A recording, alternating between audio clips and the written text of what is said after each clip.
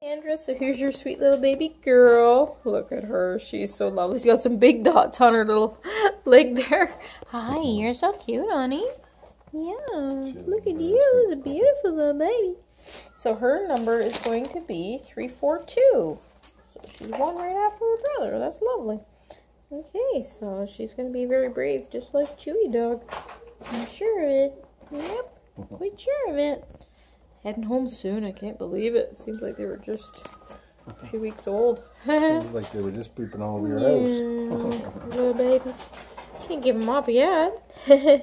all right, that's your girl.